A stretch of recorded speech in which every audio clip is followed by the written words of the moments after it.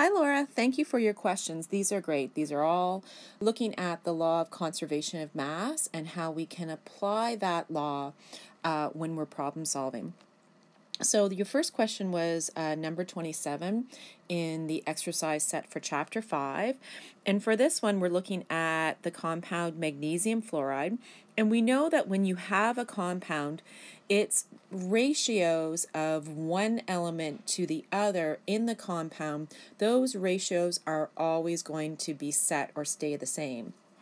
So, if we are given the masses for magnesium and fluorine in one sample of magnesium fluoride, we can use that to um, problem solve how much uh, of each element is in a second sample uh, given at least one piece of information. So when you're doing this, what you have to look at is putting magnesium and the fluorine into a ratio, which means that we're just going to make it into a fraction.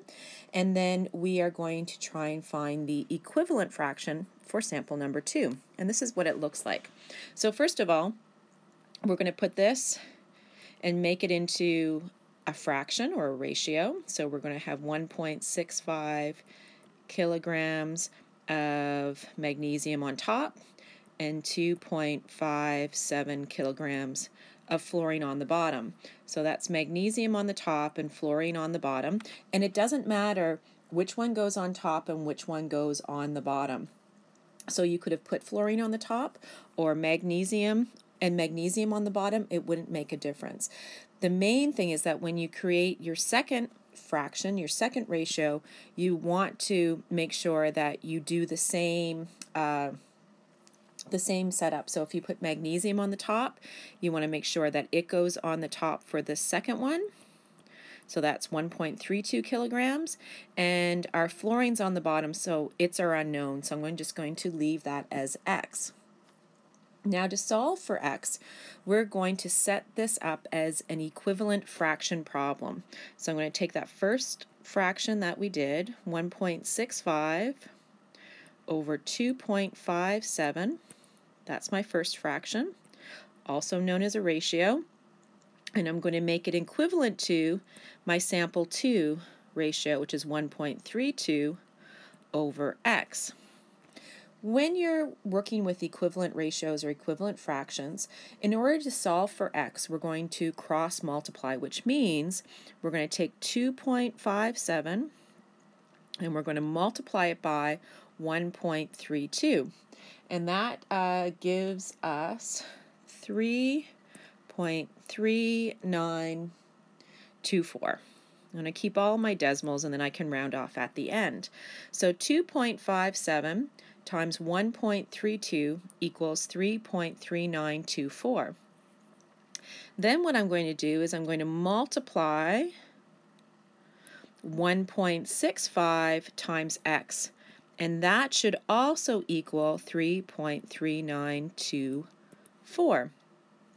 So once you do the crossover of your knowns, so my 2.57 times 1.32 equals 3.3924, we know that the product on the other cross multiply must also equal this as well. So I can write that algebraically. I can say 1.65 times x is equal to 3.3924. And then I can divide both sides by 1.65. That cancels out the 1.65 on this side, leaving me with my x. So x is going to be equal to 3.3924 divided by 1.65 which is equal to 2.056 kilograms, and that is the mass of the fluorine in sample 2. So just to break down this problem again, once you know the masses for one sample, you can use that ratio or that fraction to figure out the unknown mass of one of the elements in the compound for a second sample. and you get uh, a ratio that looks like this. You're going to make them equivalent. So 1.65 divided by 2.57 is equal to 1.32 over x. And then we use cross multiplication to figure out a product. And then that product is going to help us find the unknown. And uh, that's how you set up problems like number 27. So next I'm going to show you uh, how to do question number 29. So I'm going to set that up and I'll be right back. Okay, here we are in question number 29. And for question 29, we have the compound uh, dinitrogen oxide, so two nitrogens to one oxygen. And for the table, we're given the mass, sometimes we're given the mass of the compound. Uh, we're given sometimes the mass of nitrogen and sometimes the mass of oxygen. Now for sample A, we have all three uh, masses given, which is great. Based on this sample here, we can find the ratios of nitrogen to oxygen in uh, the compound and use that information to fill in the empty spots. Now with this one, I'm not going to make equivalent fractions. Um, oh, well, I could. I could do that one for for D. Why not do that? We'll do that for D because um, we can use equivalent. We here's one fraction that we have. We could use equivalent fractions to find this answer out, and then we can add those together to get the whole amount that we have here. You'll notice that 1.82 grams plus 1.03 grams gives us 2.85 grams. So when we add these together, our check will be that it uh, that the mass equivalent is for the whole compound because not uh, nitrogen and oxygen cannot be destroyed when we're creating this compound. So let's use equivalent fractions for this one down here. We could also use equivalent fractions for this one as well. We just couldn't do it for this one because for sample B, we need at least one of these in order to do the equivalent fractions. So equivalent fractions are going to work for um, C and D, but just not for B.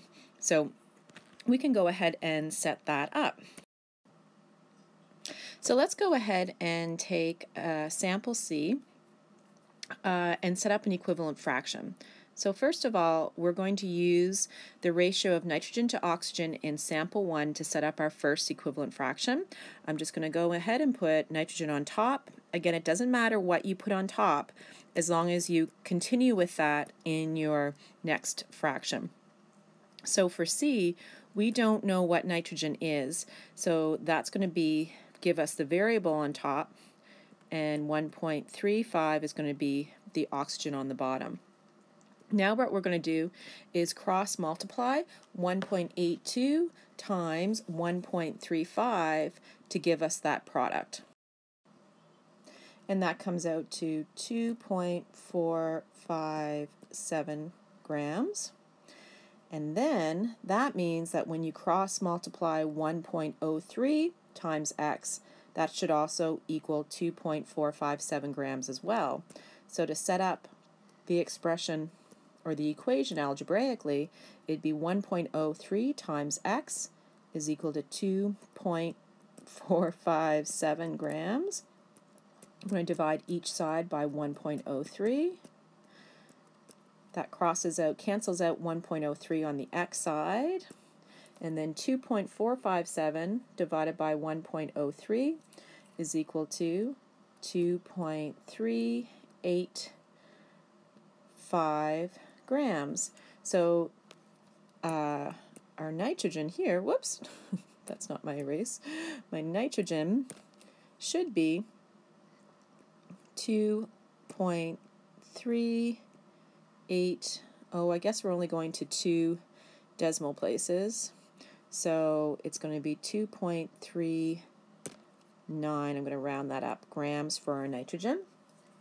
And then we can add these two numbers to get, to, together to get the total mass of our dinitrogen oxide here.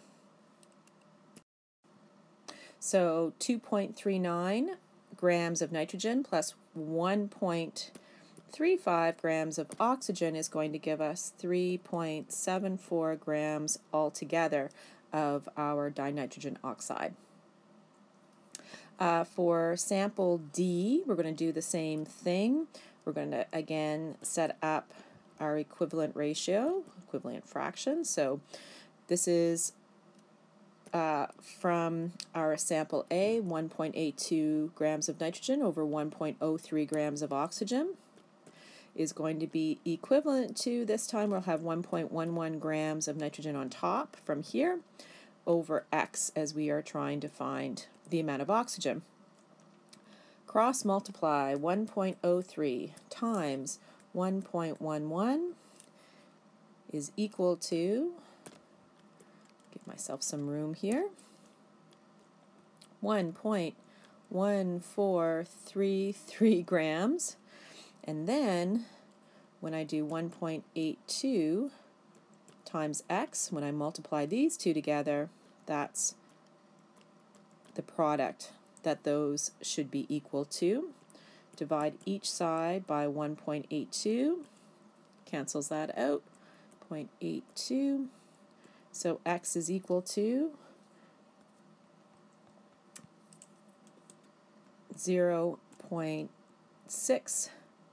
0 0.628 or 0.63 grams. So that's what oxygen, the mass of oxygen in sample D is equal to. Then I'm going to add these together and that's going to be my the mass of my sample all together, 1.74 grams. So we used equivalent fractions to figure out samples C and D. For sample B, it's going to be a little bit different because we are missing both nitrogen and oxygen. So I'm going to do that on uh, another slide um, so that I can show you how that works out. So for sample B, equivalent fractions aren't going to work because we are missing at least one of these for information, so we can't set up the equivalent fractions. But what we can do is given the information from sample A, we can figure out what percentage of dinitrogen oxide is nitrogen and what percentage of dinitrogen oxide is oxygen and use those percentages to help us solve for sample B. So for percentage of nitrogen in dinitrogen oxi uh, oxide, what we do is we take the mass of nitrogen divided by the total mass of the compound and then multiply by 100 to get our percentage. Very much like you would do if you were finding what your percentage is on a test. You would take uh, how much you got right over the total mark times by 100 and that gives you your percentage. So if 1.82 grams of nitrogen are in a 2.85 gram sample, that gives us 0.6385 times 100 to turn that decimal into a percentage, and that gives us 63.86% nitrogen. So 63.86% of our compound N2O is going to be nitrogen. That means that uh, the if we subtract that amount from 100, it means that whoop, we would have, so 100 subtract 63.86 means that 36.14% of the sample will be oxygen. So I just subtracted uh, this amount from 100 to get that. So together they make up 100%. But just to show you, I could also find the percentage of oxygen in the same way 1.03 grams over the total amount 2.85 times 100 is going to be 1.03 divided by 2.85 gives me times 100 equals 36.14% oxygen. So same, two different ways to get the second amount, um, but when you add them together, they will equal 100. So how can we use these percentages to figure out the unknown amounts of nitrogen and oxygen in a 4.55 gram sample? Well, what we're going to do is for a mass of nitrogen, we are going to take our percentage of 63.86%, but we're going to take it in its decimal form because we never use the percent number. We always use the decimal form of a percent. And we're going to multiply that by the total amount that we know, which is 4.55 grams. In doing that, we will find out the mass of nitrogen because what this statement says is 0.6386 of 4.55. Multiplication, another word for multiplication is of. So 63% of 4.55 is going to be, so 0.6386 times 4.55, that gives me 2.91 grams of nitrogen. And then for oxygen, we have 0.3614 times our total amount. So 0.3614 times 4.55 is equal to 1.64 grams. And when we add these totals together, we should equal 4.55 grams the total amount. So 1.64 plus 2.91 and we get 4.55. So those answers do work out. Whoops. So a little bit different way to get to the answer for uh, sample B. When you can't use equivalent fractions, definitely go with uh, using percents. So I hope this helps um, clarify 27 and 29 and gives you some skills to solve further problems in these areas. As always, thank you for your questions. Um, they're awesome and keep them coming. Bye for now.